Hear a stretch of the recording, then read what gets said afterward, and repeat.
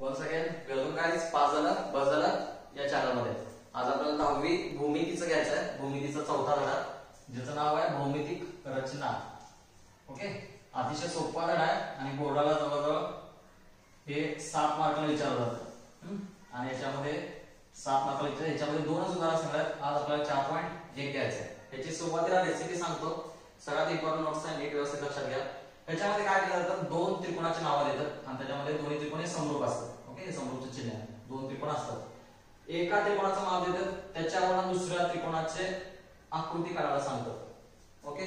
मग तेव्हा एका त्रिकोणाच्या मापावरनं दुसऱ्या त्रिकोणाच्या मापाचे उत्तर काढून जे काय बाजू कोण असतील ते काढून त्याची आकृती काढावी लागते. आणि इम्पॉर्टंट नोट्स होतात. जर समजा दोन्ही त्रिकोणामध्ये दोन्ही त्रिकोणाच्या नावामध्ये एक जरी अक्षर सेम असला एक जरी अक्षर सेम असलं तर डायरेक्ट आकृती काढली जाते. त्याचे माप एक काढण्याची गरज नाही. दोन्ही टाईपच्या कडे सोडून दाखवतो. नीट व्यवस्थित लक्ष द्या. ओके आता चार पॉईंट एक मध्ये बघावं गेलं तर पहिला प्रश्न बघा. त्याच्यामध्ये पहिल्या प्रश्नामध्ये त्रिकोण एबीसी आणि समोर त्रिकोण एल एन एन दिलं त्रिकोण ए बी सी आणि समोर त्रिकोण एल एम एन असं दिलंय. म्हणजे हे दोन्ही त्रिकोण काय? दोन्ही नाव बघा वेगवेगळं. म्हणजे A B C L M N N L M N म्हणजे दोघांमध्ये एक पण नाव सेम नाही. त्यामुळे मापा माप लागणार आपल्याला. ओके तर याच्यामध्ये इन्फॉर्मेशन आपल्याला दिसते ए बी बरोबर पाच पॉईंट पाच. ओके? बी सी बरोबर सहा. सी ए बरोबर चार पॉईंट पाच. अशी माप दिलं.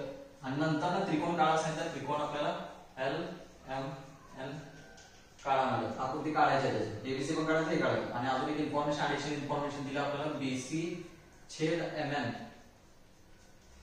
बरोबर किती दिलं? पाच छेद चार. सोपं आहे. एबीसी माप दिलं. त्या एम माप काढायचे दोन्ही समृद्ध त्रिकोण असल्यामुळं कसं लिहितो बघा? तिन्ही बाजूच आहेत तिथं. त्यामुळे बाजू लिहितो. ए बी हे दोन. हे दोन. एल हे माहिती आहे तुम्हाला बाजू कसं घेऊ? बी सी छेद एम एन बरोबर? ए सी छेद एल एन ओके आणि शेवटी जे आपल्याला प्रश्नामध्ये छेद दिले ते लिहून घ्या. पाचशे चार आता काय करायचं एबीसी चे तीन माप दिलं तिन्ही बाजूंची माप दिलं. म्हणजे एल एम एन चे पण तिन्ही बाजूंची माप निघणार. ओके आता कसं येतो बघा. आकडा एक ए बी छेद एल एम बरोबर? शेवटचं जे काय छेदमध्ये दिलंय प्रश्नामध्ये ते लिहा. एबीचं माप माहिती आहे आपल्याला. एबीचं माप किती आहे?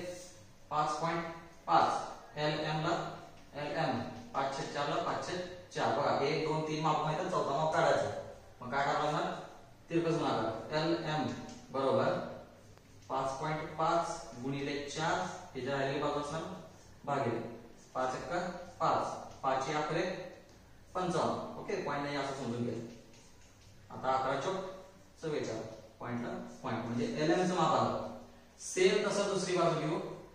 दुसरं. बी सी छेद एम एन परत जे काय छेदमध्ये दिला आपल्याला प्रश्नामध्ये ते लिहा बी सी माप दिले इथं. किती सहा एम एन पाचशे चार. ओके परत एक दोन तीन माप माहिती चौथा माप काढायचं काय करायचं तिरकस गुणाकार. एम एन चं माप काढायचा मला सहा गुणिले चार भागिले पाच. ओके एम एन बरोबर? साईन चौक चोवीस. किंवा असं पण बोललं तरी चालतं पाच निघून सहा उडवलं आपण. पाच भागिले सहा. ओके? पाच एक पाच. उरला एक. इथं पॉईंट आहे. फक्त झिरो येणार पाच आणि दहा. म्हणजे किती आलं? एक पॉईंट दोन. बार चौक अठ्ठेचाळीस. समजलंय? आता शेवटचं माप. शेवटचं काय? तिसरा ए सी छेद एल एम पाचशे चार. ए सी माप दिलं आपल्याला किती? चार पॉईंट पाच. एल एन ला एल एन पाच चार ला पाच चार. ओके? त्याचा गुणा करा.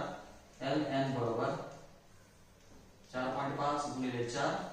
आणि राहिलेला भागिले पाच. पाच एक पाच. पाच नऊ पंचेचाळ नऊ चौक छत्तीस. एल एन बरोबर आलं तीन पॉईंट सहा.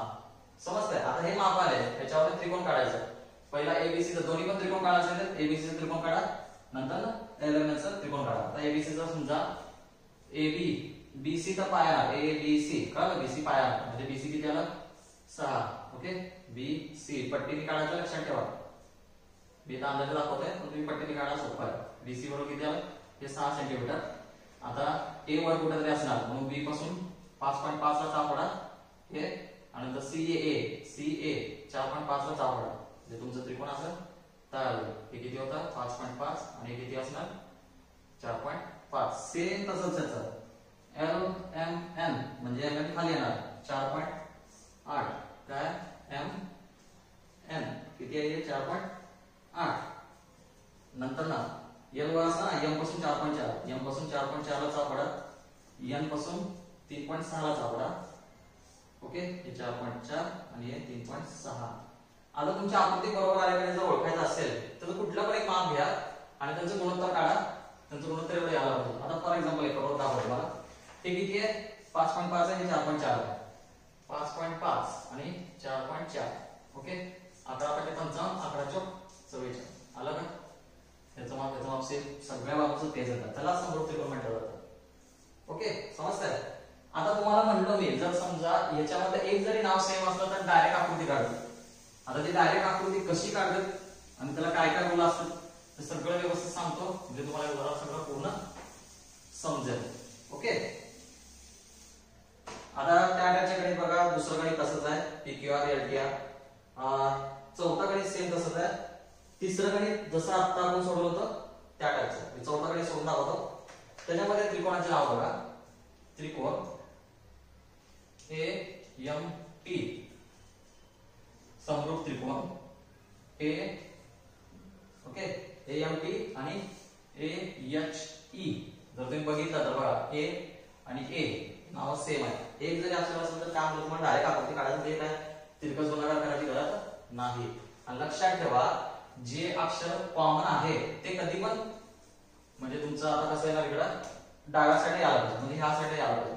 थोडे रूल आहेत त्याचे व्यवस्थित सांगतो ते बघा. ओके आता मी काय सांगितलं? ए हे कॉमन ह्या साईडला यायला पाहिजे. म्हणजे ए एम किती आहे? सहा पॉईंट तीन. सहा पॉईंट तीन ची रेश सोडा.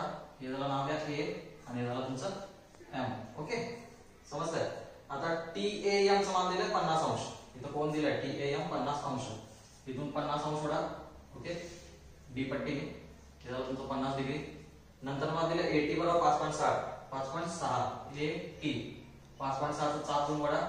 राहिले बाजू जोडून द्या. हे झालं तुमचं एक त्रिकोण. आता ए याची काढायचं. ए ची काढताना काय करायचं सांगतो? ए पासून आहे ना तुम्ही चाळीस डिग्रीची एक मोठी रेष सोडायचा अंदाज. किती डिग्रीची चाळीस डिग्रीची डी पट्टी उलटी ठेवून. लघु कोण? आता बघा छेदमध्ये जे काय दिलंय तुम्हाला प्रश्नामध्ये आपल्याला इथं ए एम छेद ए एच दिलेत आपल्याला सात आठ पाच सातशे पाच. जे काय मोठं असेल आपल्या दोघांमध्ये वरचा मध्ये खालचं तेवढं प्रत्येकाला इथं एक एक सेंटीमीटर सोडून किंवा दोन दोन सेंटीमीटर किती पण सोडा तुमची मध्ये एक एक किंवा दोन दोन एक एक सेंटीमीटर वरून असं सात ओढायचं. ह्याच्यावर ठेवायचं परत दोन ते तिसरा चौथा असं ओढायचं. एक दोन तीन चार पाच सहा सात. ओके? शेवटचं ए एम सात आहे. ए ला एम हे झालं तुझं जसा तसा जोडून घ्या. ओके हे A one A two A three A four A five A six A seven समजतंय? आणि नंतर राहिला काय? ए एच पाच. आता इथं पाच पण आहे. सरळ एकदम रेषा ओढून घ्या. ही सरळ रेषा. आणि नंतर ही रेषा एकदम समांतर. ओके ही समांतर रेषा ओढून घ्या. त्याला नाव द्या. ते एच आणि झालं तुमचं टी समजतंय? अशा प्रकारची आकृती येतो. आय होप तुम्हाला हे पूर्ण उदाहरण समजा कळालं असेल. सेम गणितात व्यवस्थित नोट्स फॉलो करा आणि सोडवा. Okay bye